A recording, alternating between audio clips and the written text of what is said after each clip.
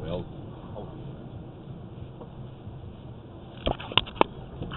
räige rikkumine. jah, muidu eh, ei saanud mööda.